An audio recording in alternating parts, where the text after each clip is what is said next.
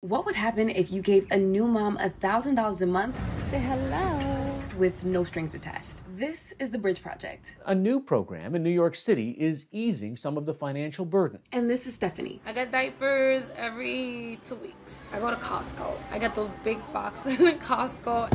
Big box of diaper is $45. Then the wipes, like $30. Stephanie is one of 600 moms getting the money after her second child, Sebastian, was born last summer. With him, it was a little harder because I'm by myself. Um, his dad is currently in the Dominican Republic, so that journey took a toll on me.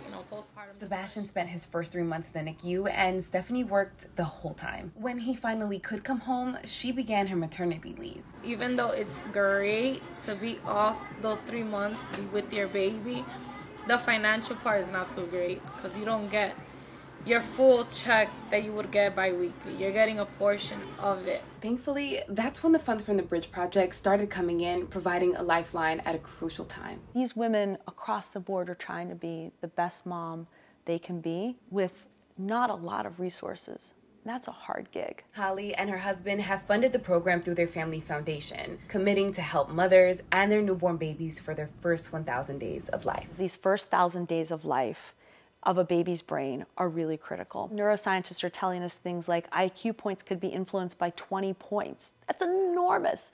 Life expectancy could be changed by up to 20 years. Heart disease goes way up if babies are not living in stable environments in these earliest days. And while it's just been private money so far, that could one day change. This year, our council will help expand guaranteed income programs that support New Yorkers facing some of these greatest challenges.